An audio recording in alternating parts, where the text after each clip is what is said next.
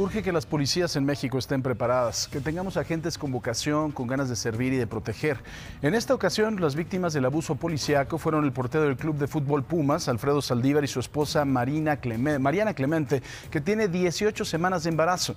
De acuerdo con la pareja del portero, una patrulla los detuvo sin motivo alguno y al negarse a que le revisaran la bolsa, una mujer policía se le fue encima y la golpeó.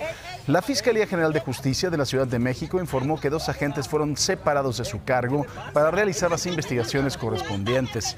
Realmente son imágenes indignantes sin duda, pero están metidos en un problemón, ¿eh? ya se lo vamos a platicar más adelante.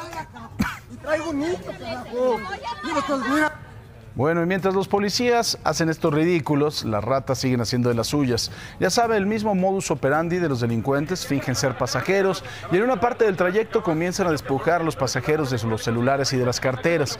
Los hechos ocurrieron el domingo pasado en Naucalpan, en el Estado de México, y en el video se escucha cuando una de las ratas le dice a un pasajero que le dé el celular bueno.